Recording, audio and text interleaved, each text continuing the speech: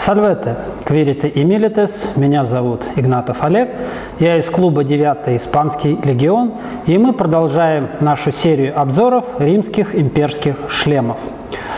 К сожалению, а, дальше у нас на очереди должны были быть типы имперский гальский D и E.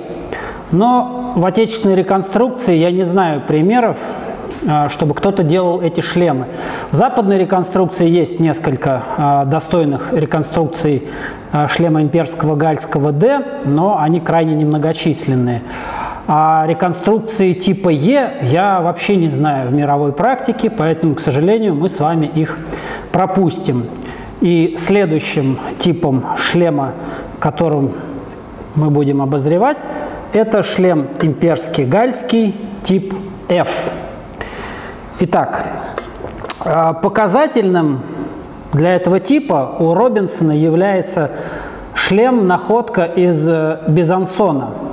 Но, к сожалению, в России я, опять же, не знаю э, достойной реконструкции э, шлема из Безансона, потому что он не такой простой, он считается шлемом опциона, у него довольно богатая отделка, он встречается в России только в варианте фирмы индийской Дипика, которая выполнила его с очень большими отклонениями от оригинала, поэтому э, в варианте Дипики мы его рассматривать не будем, хотя я мог принести такой шлем.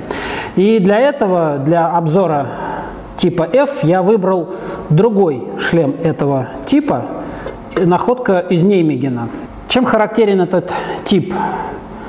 А от типа С, как мы видим, он отличается тем, что у него появляется в первую очередь защита ушей.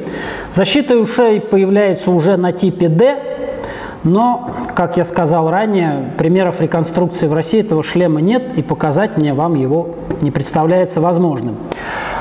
Для шлема из Неймегена характерны и вообще для шлемов э, типа F характерны довольно тонкие, изящные, очень хорошо проработанные брови. А, на затыльник, опять же, является практически перпендикулярным плоскости тыльной части шлема.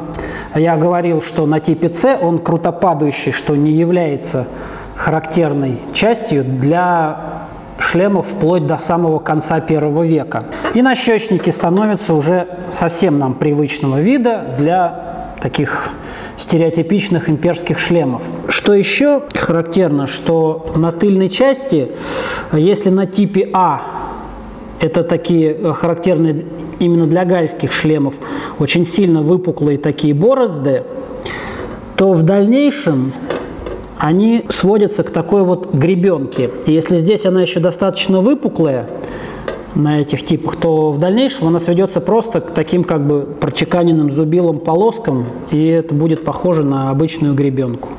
Периодизация. Периодизация этот шлем характерен для второй четверти середины первого века нашей эры. То есть его датировка – это император Клавдий и император Нерон скорее. Ну, возможно, Тиберий еще захватил чуть-чуть Тиберия, Калигулу, то есть где-то с 25 по 50-60-е года первого века нашей эры. Это все, что я вам хотел сказать о шлеме имперском гальском типе F.